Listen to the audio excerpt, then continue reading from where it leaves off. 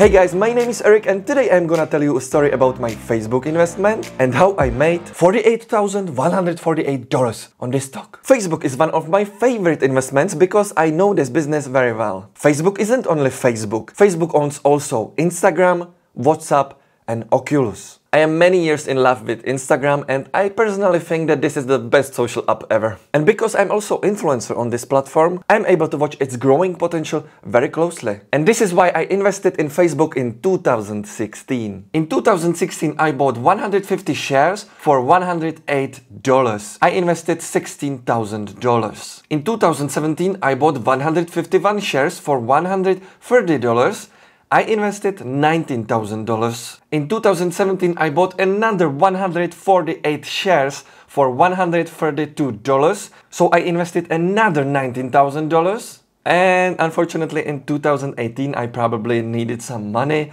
I sold 175 shares with profit for the price 175 for each so I made a profit but it would be much better if I didn't sell but even with that sell we are looking today for 48 $1,148 in profit. Since 2016, Facebook investment made me 28.78% every single year. I have here S&P 500 index so we can compare what was better investment in the time and you can see that Facebook was for me better investment because I beat the market boys. Market would made me 18%.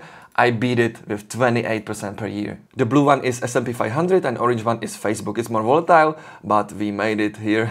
so in four years, I made only on Facebook stock $48,148. I almost doubled my money in four years on Facebook. If I wouldn't sell in 2018 some of that shares, I would make more money of that, but never mind, I'm still happy from that results. Let's look at Facebook stock today, guys. If you thought that Facebook is dead, you are wrong. Facebook daily active users are still growing. They are also diversified in the whole world. Facebook monthly active users still growing and look at the number monthly active users every month 2.7 billion people. Facebook's total revenue is growing every single year 27 billion, 40 billion, 55 billion, 70 billion. Operating income from 73 billion is 26 billion. It's a really nice margin over here. And look at the balance sheet, guys. I love Facebook's balance sheet so much. I think it's one of the best balance sheets in the market. Again, we can see total assets growing over time 64 billion, 84 billion, 97 billion. But what is interesting here is look at current assets versus current liabilities.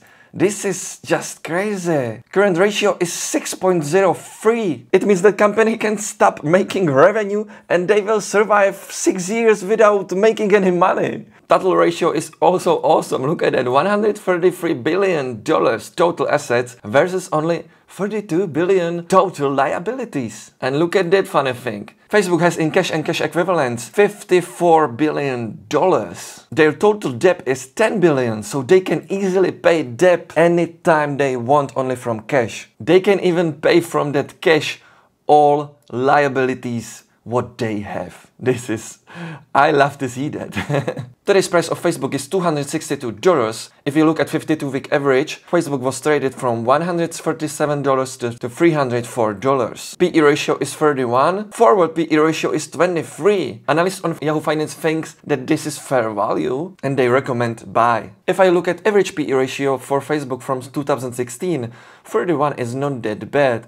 As you can see, there is many like 32, 31, 22, 27, 32. And analysts expect growth in next year 24%. Analysts on Simply Wall Street even think that it's still undervalued 10% even with today rich prices. And they expect growth 80%. It's still very good. I really like that company and I don't even need to go deeper with the numbers. I also work on Instagram, so it makes total sense to invest in place where you spend your time and what you understand, right? I'm gonna definitely build a bigger position in my Facebook stock, especially when the market dips, because everybody knows today's valuations of tech companies. I still think that Facebook is not so crazy like other companies, but I I will be still happy if I can get it with discounts, right? It's always better get it with discounts. This is what I do when I'm in some stock in long term. I am buying when the market drops or where the stock drops. I don't know, it can drop 10% or 20%.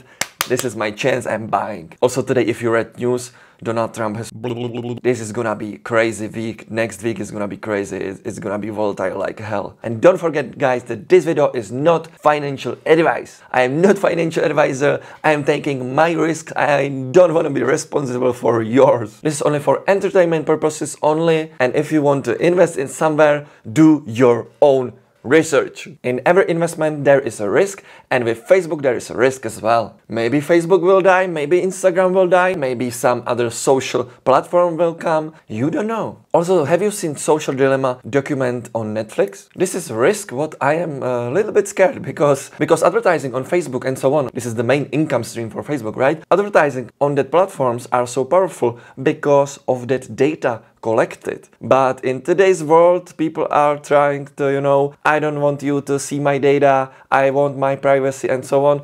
So check this document, check this document, it's, it's very interesting. So this is it, my friends. I hope you enjoyed this video. Subscribe this channel if you like this video and I will see you in the next one. Bye.